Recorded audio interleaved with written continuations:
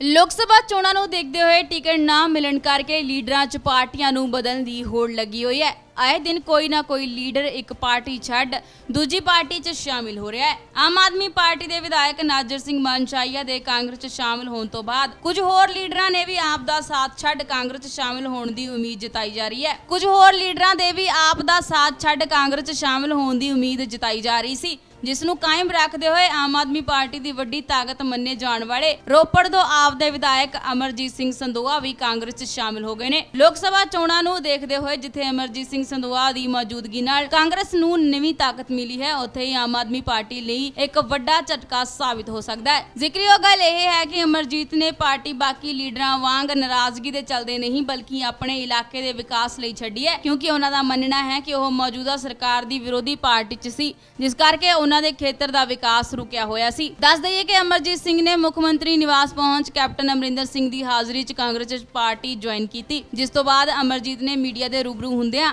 ਘੱਟ ਸ਼ਬਦਾਂ 'ਚ ਆਪਣਾ ਆਪ ਛੱਡ ਕਾਂਗਰਸ 'ਚ ਸ਼ਾਮਿਲ ਹੋਣ ਦਾ ਕਾਰਨ ਦੱਸਿਆ। ਅਮਰਜੀਤ ਨੇ ਕਿਹਾ ਕਿ ਮੇਰੇ ਹਲਕੇ 'ਚ ਪਹਿਲਾਂ ਵਿਕਾਸ ਨਹੀਂ ਹੋ ਰਿਹਾ ਸੀ। ਖੇਤਰ ਦੇ ਵਿਕਾਸ ਨੂੰ ਦੇਖਦੇ ਹੋਏ ਮੈਂ ਕਾਂਗਰਸ 'ਚ ਸ਼ਾਮਿਲ ਹੋਣ ਦਾ ਫੈਸਲਾ ਲਿਆ। ਨਾਲ ਹੀ ਉਹਨਾਂ ਨੇ ਇਹ ਵੀ ਸਪਸ਼ਟ ਕੀਤਾ ਕਿ ਆਮ ਆਦਮੀ ਪਾਰਟੀ ਦੇ ਨਾਲ ਉਹਨਾਂ ਦਾ ਕਿਸੇ ਵੀ ਤਰ੍ਹਾਂ ਦਾ ਵਿਵਾਦ ਨਹੀਂ ਹੈ ਅਤੇ ਕਿਸੇ ਵੀ ਤਰ੍ਹਾਂ ਦੀ ਨਾਰਾਜ਼ਗੀ ਨਹੀਂ। ਲੋ ਦੱਸੋ ਕੀ ਕਹਿਣਾ ਦੱਸੋ ਤੁਸੀਂ ਆਪਣਾ ਸੰਦੋਆ ਸਾਹਿਬ ਅੱਜ ਕਾਂਗਰਸ ਤੁਸੀਂ ਜੁਆਇਨ ਆਪਣਾ ਕਰ ਲਿਆ ਸੰਦੇਸ਼। ਕੀ ਕਾਰਨ ਹੋਇਆ ਕਿ ਅੱਜ ਕਾਂਗਰਸ ਜੁਆਇਨ ਕੀਤੀ ਹੈ ਤੁਸੀਂ? ਮੈਂ ਆਪਣੇ ਹਲਕੇ ਦੇ ਵਿਕਾਸ ਲਈ ਰੋਪੜ ਹਲਕੇ ਦੇ ਲਈ।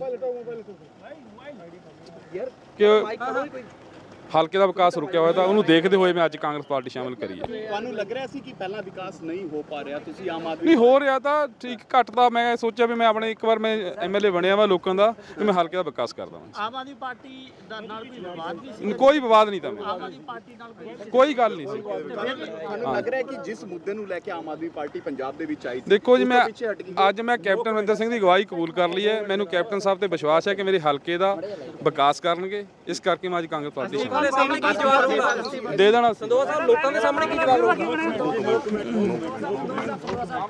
ਭਾਜੀ ਦੇਖੋ ਯਾਰ ਕੀ ਮੁੱਖ ਕਾਰਨ ਰਿਹਾ? ਮੇਰਾ ਵੈਸੇ ਹਲਕੇ ਦੇ ਵਿਕਾਸ ਵਾਸਤੇ ਲੱਗਿਆ ਕਿਤੇ ਕੋਈ ਕਿਸੇ ਨਾਲ ਨਾਰਾਜ਼ਗੀ ਆਮ ਆਦਮੀ ਕੋਈ ਨਾਰਾਜ਼ਗੀ ਨਹੀਂ ਮੇਰੀ ਕਿਸੇ ਨਾਲ ਕੋਈ ਨਾ- ਸਭਾ ਚੋਣਾਂ ਤੋਂ ਠੀਕ ਪਹਿਲਾਂ ਕਿਸੇ ਨਾਲ ਕੋਈ ਨਹੀਂ ਕੈਪਟਨ ਅਮਰਿੰਦਰ ਸਿੰਘ ਦੀ ਰਾਹੁਲ ਗਾਂਧੀ ਦੀ ਅਗਵਾਈ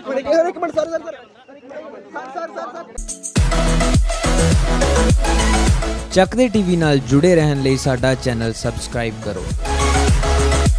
ਵੀਡੀਓ ਸਭ ਤੋਂ ਪਹਿਲਾਂ ਦੇਖਣ ਲਈ ਬੈਲ ਆਈਕਨ ਤੇ ਕਲਿੱਕ ਕਰਨਾ ਨਾ ਭੁੱਲਿਓ।